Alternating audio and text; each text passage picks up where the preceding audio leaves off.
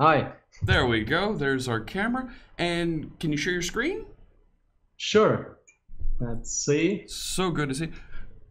And AngleSharp. Yeah. Yeah, so Florian, we've we've talked over over the years. You're um, when uh, AngleSharp joined .NET Foundation, big fan.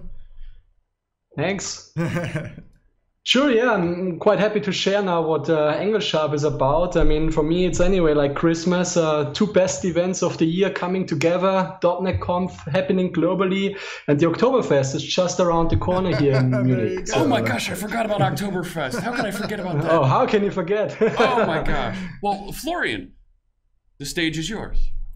Thanks. So, without further ado, I will just jump into the topic and hopefully I make it in time. Um, the topic is AngleSharp, uh, which aims to be a, .NET headless browser. Let's see where we are. Um, before I jump into it, fully in the water, uh, a few words about myself. I'm Microsoft MVP for developer technologies. I'm also a contributor to open source projects, um, mostly on GitHub, of course and I'm very enthusiastic about writing some articles of technical nature and uh, speaking at uh, events if the if the time allows it. I'll always be be happy to be invited and appreciate that. Um, professionally, I'm a solution architect at a small startup called smapiot. Um, there, I'm specialized in uh, distributed web applications, and the web is also the topic of this session. Um, one word of uh, uh, remark. Um, since this is an online session, I cannot see all your faces, so excuse me for being either too fast or too slow. I hope that the recording will then uh, at least uh, a little bit, um, uh, well, give you a payback on, on this one. Uh, otherwise, uh, you can always uh, reach me on, on GitHub or on Twitter if you have a specific question. Now, yeah. Yeah, thanks. Thanks. All right. Um, now, uh, what is on our plate today? Um, we will first start by a quick introduction. What is AngleSharp? Um, why uh, could it be helpful for you? Uh, since AngleSharp is an HTML browser, we will also need to have a, a small excursus on HTML5. Uh, we will do that by example. I selected uh, three examples that should illustrate why HTML parsing is not uh, so simple as just putting out a, a regular expression. Then we will go into the topic of extensions. Um, uh, this is, is, one of the things that makes AngleSharp special and where we would try to, to always improve our, our reach and what we can do with it. And finally, uh, a small outlook uh, what the future of AngleSharp will bring. So, what is AngleSharp? As I already told you, it's uh, a library for parsing HTML, but it's in fact a little bit more than that what we try to do in order to parse HTML5 correctly, I mean, there's the core specification, but there are all kinds of specifications actually. And if you want to really um, get a grasp on what's on the web, you should not consider just one specification, but all the side specifications also play a very important role. Like, for instance, this one little thing called JavaScript, right? I mean, many websites are unfortunately these days only accessible if you also have a JavaScript engine running or part of the information may um, only be displayed in conjunction with special uh, CSS rules or may make only sense with these CSS rules. So there are all these different technologies that come together and form what we call the web today. And if we really want to get access to that information, um, we need also a, a browser engine that's uh, capable of doing that. Of course, your standard browser can do it, but can you do it in .NET without any, let's say, RPC calls or whatever? Um, that's the mission of AngleSharp. Now, what we uh, can do is we have a full stream processing unit like a standard web browser does, which means we do not stop when bytes arrive. We always um, uh, evaluate them. We don't wait until all the content was received. We do that on the fly.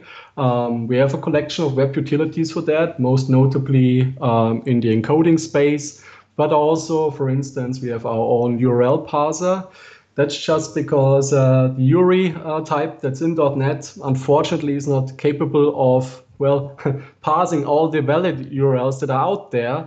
Um, this uh, URL um, parsing that we included uh, follows the specification by the heart and uh, therefore can handle all the, the cases. Um, what else we can do besides HTML, CSS? I already remarked that JavaScript plays an important role. Yes, we have uh, a solution for that. Unfortunately, at the moment, it can only deal with simple JavaScript. The vision is, of course, to, to improve the, the reach here. And this is where customizations and extensions come in, because at the end of the day, we don't want to create this one giant monolithic uh, library. We want actually to foster a whole ecosystem of plugins where everyone can say, oh, this is one of the things AngleSharp cannot do or does not do well at the moment, but I can just customize this and come up with my own plugin. Now, looking at the history of the project, it all started, I think, around in 2012 um, it was actually after an MVP summit. I was on the plane and I thought, yeah, let's let's write an HTML5 parse. I mean, uh, what else could be could be done on a plane? Uh, honestly, it was a different angle, uh, so to speak, um, back in the day on the project. But I realized an HTML5 parser is one of the things that's missing in the .NET ecosystem. There have been other HTML parsers, right? But none of them have been following the HTML5 specification by the heart at this point in time. In 2013, I put it out on GitHub, and uh, initial reaction was quite good. I was really surprised. So there seemed to be some kind of a demand. And so I kept on going. And in 2015, we had an important milestone uh, with uh, integrated extensibility we demonstrated that a scripting engine can be brought in, um, which was quite cool because suddenly you had uh, not only just a static document object model, um, a static representation of the page you're dealing with, but actually it could be made alive, what JavaScript brings, for instance, to the table. And then from that point on, just a lot of bug fixes, a lot of improvements, and a major refactoring of the API um, to the end user also happened. And the milestone here is the version 0.10. So right now we are at 0.13 and we want to hit the 1.0 milestone. All the major uh, breaking changes that happened since 0.10 are all quite minor, but still breaking um, in one or the other area. Now from 0.9 to uh, 0.10, that was a huge uh, change. So there um, uh, we, we really made a, a drastic uh, direction change. But I think it was for the better. And uh, the ecosystem also lives now on top of the 0.10 version and, of course, the successors. Now, one short glimpse at what how parsing uh, HTML looks like. Um, it's like um, any kind of parsing. So if we could draw pretty much the same picture for, let's say, uh, even programming languages like C Sharp. There, of course, you may have um, what is then called a backend with, with optimizations, etc., and code emission happening. That's not the case here, but nevertheless, the parsing stages alone, the front end is pretty much the same. So we start with a stream, a stream of just bytes and they are interpreted in a special way by a preprocessor that also does some sanitization. Uh, in the end, the goal of this preprocessor is actually to get us characters that we can work with. Then a tokenizer comes into play. So the tokenizer takes a bunch of characters and says, oh, now that's a valid token. Um, for instance, an opening tag or a closing tag or an attribute or text or a comment, all these kinds of uh, different building blocks that we have. Now, until this point, we are still in the linear phase where we say, okay, we started with a linear stream of bytes. We had then a linear stream of characters. And now we have a linear stream of tokens. Now, where does the tree, the document object model, come from? Well, that's done by the tree constructor. So that is, is fed on the tokens coming from the tokenizer. And now here is the semantic information that says, okay, I, have seen that uh, opening tag. I can now close it. That's valid. Or here there is no content allowed. I will just place it on the uh, sibling element. So all these things happening in the tree constructor. And then we have a dynamic uh, object model, uh, which is called the DOM. So at the end of the day, this is all what, what's included in AngleSharp. So you don't need to do anything. You just for instance, present the stream to AngleSharp, and AngleSharp does all the rest. And at the end, you get an iDocument, for instance, instance, and uh, with this instance, you can actually play around. You can serialize it back. That's what we will see. You can append uh, new elements or um, get further information out of it. So let's just look at some examples by learning a little bit what makes HTML5 so, so complicated. Um, first, very simple piece of uh, HTML code. Um, what you should recognize here is I left out some of the, let's say, standard elements. Like we don't see an HTML tag here. We don't see head. We also don't see body. Well, that's not an error. That's actually a valid HTML5 document. And there are big sites, for instance, the Google Arrow page out there, which use exactly these rules to um, save a few bytes here and there.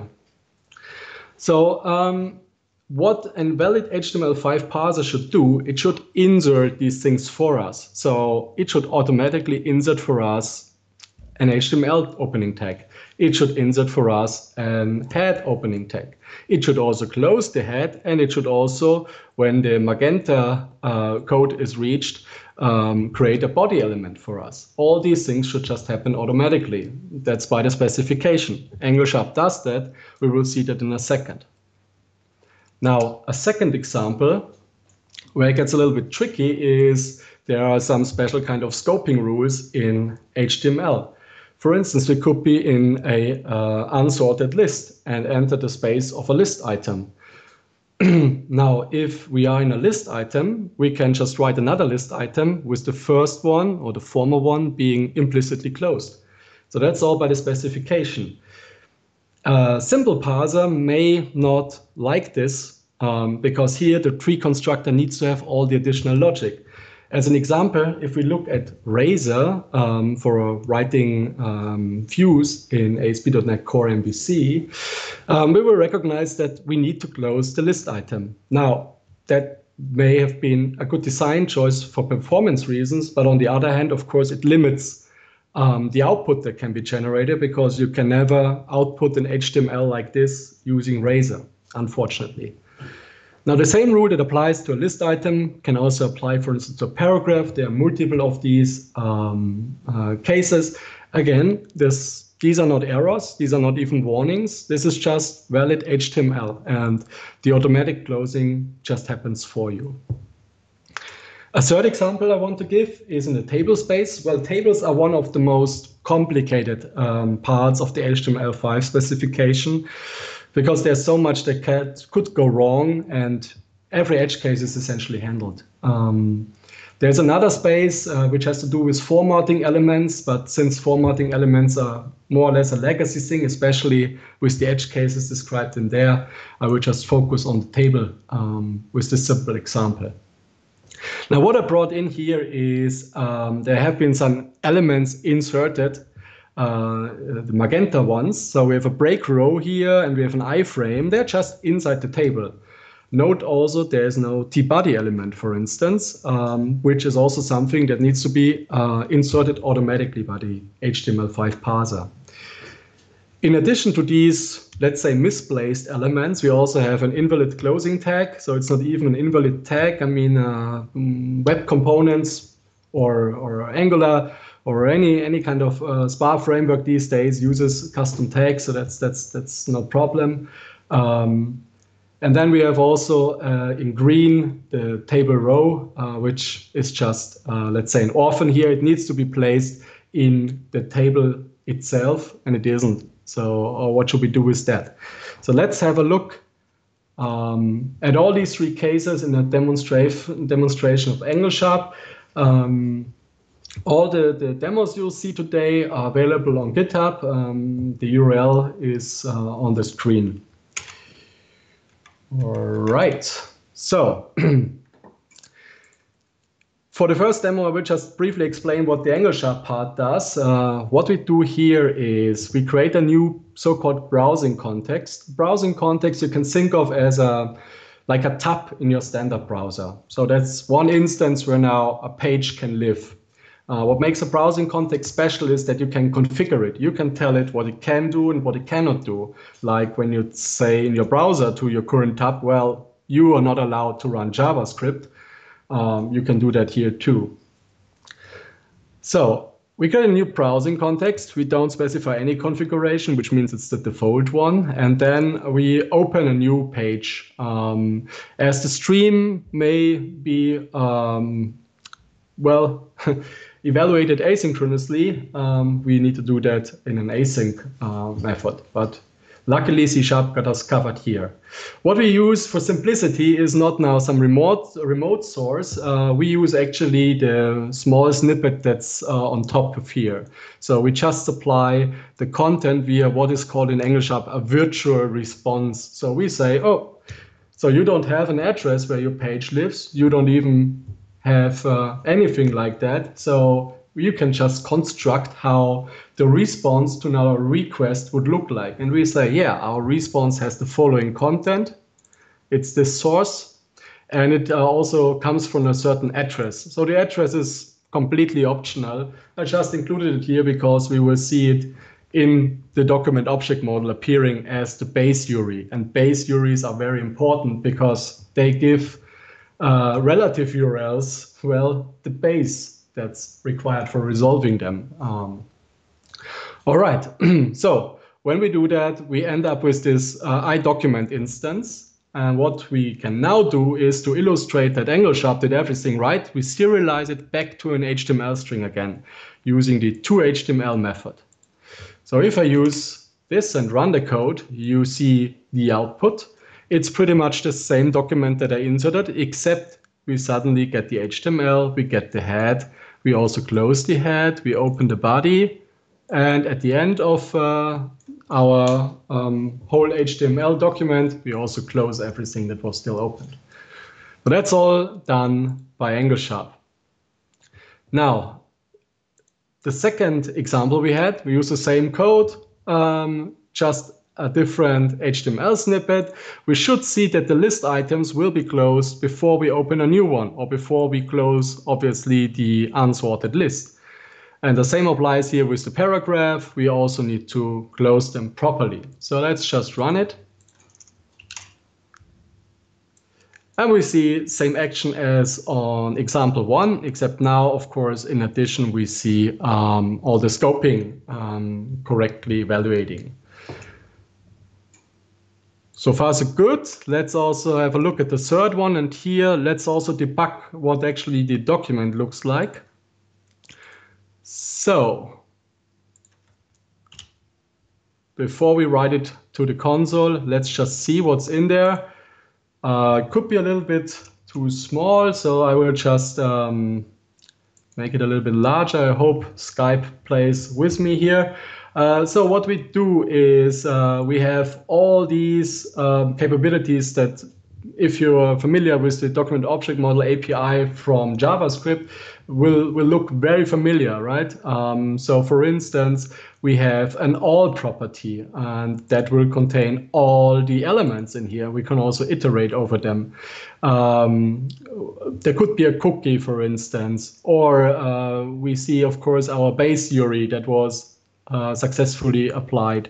So all these things are there, and it's it's a full uh, document object model just um, done in C sharp without any remote procedure calls to to uh, uh, Chrome or any other evergreen browser happening.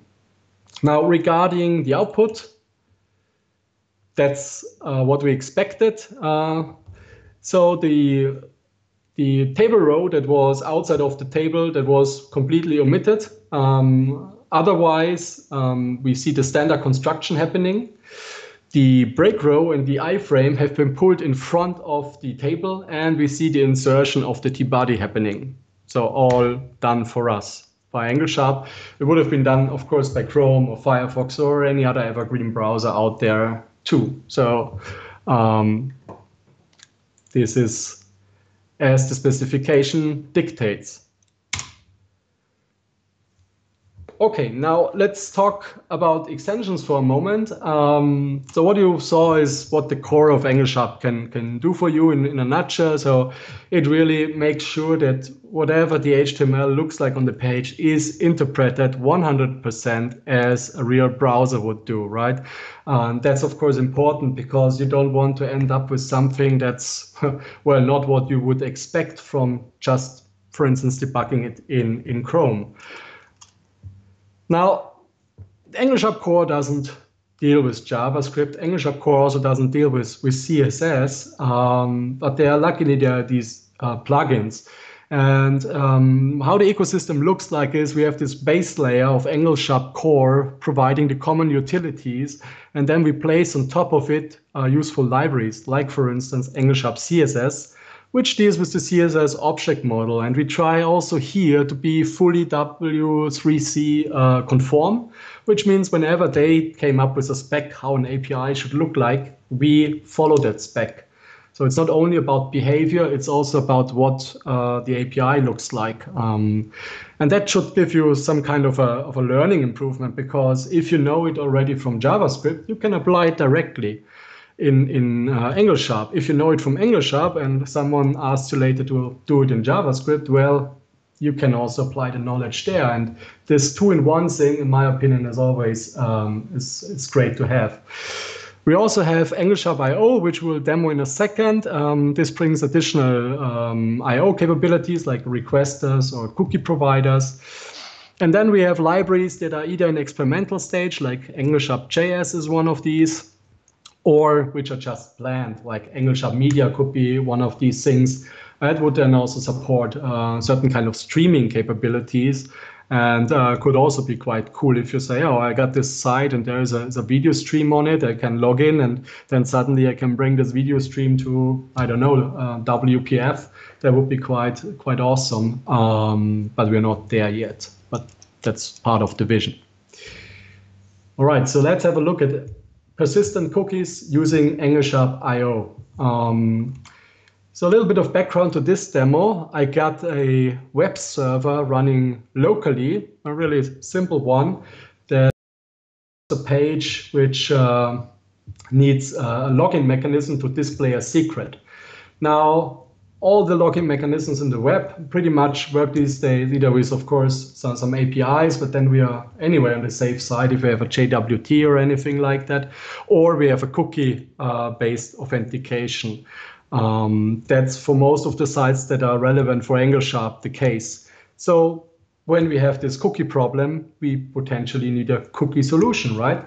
Um, out of the box, AngleSharp already brings a cookie provider but that's based on the cookie container of .NET, and that has several disadvantages. Most notably, it doesn't work with all the cookies out there on the web. It may crash, it may complain, oh, this state format I do, do not recognize. Um, so what we did in uh, one of the extension libraries called AngleSharp IO, uh, we created a cookie um, provider following the official specification. And we even went further. Uh, what we have in there are two ways of using it. Uh, one way is in memory, where you say, oh, okay, when the application closes, cookies are lost, it's good. And the other way is saying, oh, you can persist it or however you want to by default on the local file system. And uh, that's what it should show. So we use uh, a custom configuration now that's done like this. You have the configuration class and we just say we start with the default one and then we add additional capabilities. So what we do is we add the persistent cookie capability and we say, oh yeah, you need to store it somewhere. The sync file path is in my documents, the file demo cookie. We also add additional requesters like an HTTP requester that's based on the HTTP client. That's just more modern than the one that comes with AngleSharp out of the box. And um, then we say, yeah, AngleSharp, you're allowed to actually make requests to the network. So we say with default loader. Now, when we run this thing, what will happen is uh, we just switch to authentication we will have different kinds of, of, of stages. Oh, sorry, I'm still need to remove this little file. So let's run it again. Sorry for that. Uh, we have different kinds of stages. So we start not being logged in. Um, so the page looks like this. You need to log in for obtaining the secret. Luckily, we have the login link here. So we navigate there. Then this page contains a form. We fill out the form with the user and the password, press login. It's all done. And then uh, we are automatically redirected. And here we see the secret. So obviously Bruce Wayne is Batman. What? But yeah, so that's just how the world works. And uh, this was the, the AngleSharp or the, the code that we used in C Sharp uh, using AngleSharp. Uh, we say, okay, we can use a query selector. If it's there, uh, we navigate to it, then we submit the form, and then we are logged in. Now, if I run it again, this cookie file is created, uh, has been created, and so we are already logged in. So we see the secret directly. I'm Batman. Great. And the reason how it works is because, sorry, is because, um, yeah, we have this file that follows the old Netscape cookie file specification, and that actually includes all these different cookies that have been used now for the localhost um, domain. And we just transport that over. All right, so going into the final stages, uh, I also want to show you JavaScript before wrapping up.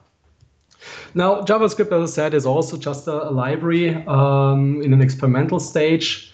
We only need to use WithJs, and then we can apply some simple JavaScript. Let's just make the demo before we run out of time. Um, pretty much the same thing. Now, what we will change is the document title because that's right now sample and it will be changed to simple manipulation. What we will also do is we will write out this special kind of span element. So let's just run it. And what we can see is the title changed now in the serialization. It's now simple manipulation and we got this span. Great.